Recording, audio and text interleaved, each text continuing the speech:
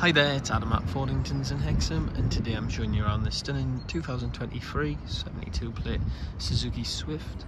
It's a 1.2 petrol SZ5 finished in burning red metallic with the diamond cut alloy wheels. Got a great spec to this one with the SZ5 being the top of the range Swift.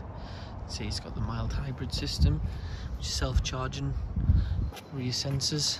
You've also had a fitted to it the reverse parking camera which displays on the touchscreen center console. Really nice size boot, all immaculate condition. This particular vehicle was an ex-demonstrator.